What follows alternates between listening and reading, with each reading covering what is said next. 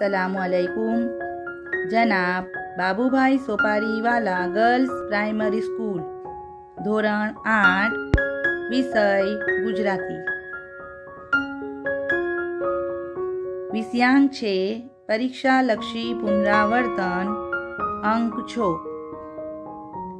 વિદ્યાર્થીની મિત્રો, આપ સૌ જાણો છો આ મહિનાના અંતિમ દિવસોમાં આપણી પરીક્ષાઓ આવી રહી છે.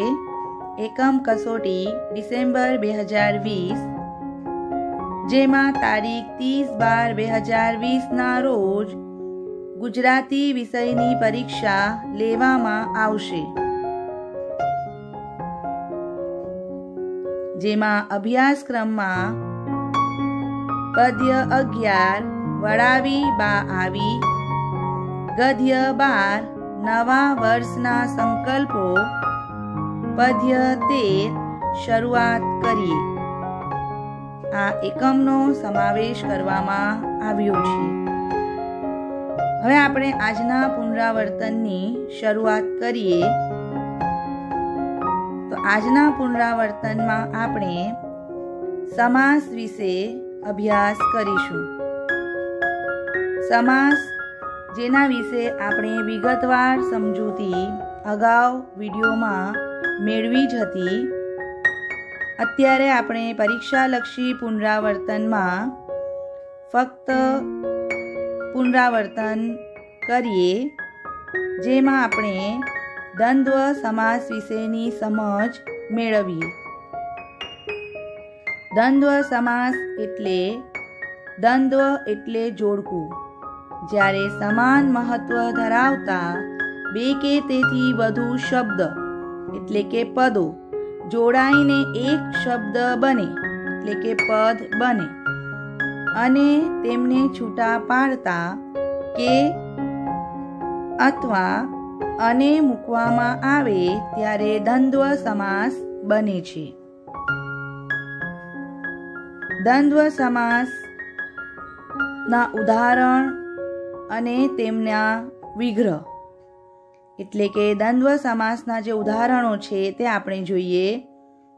અને તેમનો વિગ્રહ કરતી વખતે કે અને અને મૂકવામાં આવે છે તે જોઈએ. અહીં શબ્દ છે મા, બાપ. તો મા અને બાપ. રાધા કૃષ્ણ, રાધા અને કૃષ્ણ. અહીં તહીં, અહીં કે તહીં. સુખ, શાંતિ, સુખ અને શાંતિ. પંદર વીસ, પંદર કે વીસ. ભાઈ બહેન, ભાઈ અને બહેન.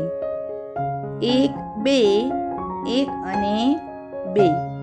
સવાર, સાંજ, સવાર અને સાંજ. તો અહીં આપણે દ્વંદ્વ સમાસના ઉદાહરણ જોયા, જેમાં આપણે સમજ મેળવી કે સમાન મહત્વ ધરાવતા બે કે તેથી વધુ શબ્દ હોય અને તે જોડાઈને એક શબ્દ બને છે. પણ જ્યારે આપણે તેમને છૂટા પાડીએ, ત્યારે અને કે કે મૂકીએ, ત્યારે એ શું બની જાય છે? દ્વંદ્વ સમાસ બની જાય છે.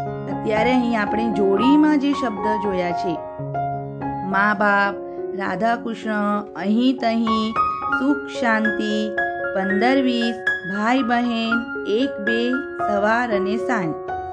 આ જોડીમાં જે શબ્દ છે, આ શબ્દને જ્યારે આપણે છૂટા પાડ્યા, એટલે કે એમનો વિગ્રહ કર્યો, તો આપ જોઈ શકો છો અહીં આપણે અને, કે મૂક્યા છે. અને અને અને કેનો ઉપયોગ કરી આપણે આ જોડકા, જે જોડીમાં શબ્દ છે, તે છૂટા પાડ્યા છે. તો અહીં આપણે આ કયો સમાસ કહેવાયું? દ્વંદ્વ સમાસ. આગળ જોઈએ, આ આપણે અત્યારે શબ્દ જોયા કે શબ્દને આ રીતે આપણે વિગ્રહ કરીએ તો અને કે મૂકવામાં આવે છે. પણ જ્યારે વાક્ય આપણને આપ્યું હોય અને વાક્યમાંથી દ્વંદ્વ સમાસ ઓળખવાનું હોય, તો હવે આપણે જોઈએ નીચે આપેલા વાક્યમાં દ્વંદ્વ સમાસ ઓળખો. તો અહીં આપણી પાસે વાક્ય છે, મિત્રતા તો કૃષ્ણ સુદામાની જ. તો અહીં જોડીમાં જે શબ્દ આપણને જે દેખાય છે, આપણે આગળ શીખ્યા દ્વંદ્વ એટલે શું? જોડકું. જોડીમાં જે આપણને શબ્દ દેખાય છે, તે શબ્દ છે સમાસ. એટલે અહીં કૃષ્ણ અને સુદામા. એ શું છે? દ્વંદ્વ સમાસ છે. તે જ રીતે ઘરમાં અહીં તહીં સામાન પડ્યો છે. અહીં તમે આ વાક્યમાં જોઈ શકો છો, દ્વંદ્વ સમાસ, અહીં તહીં.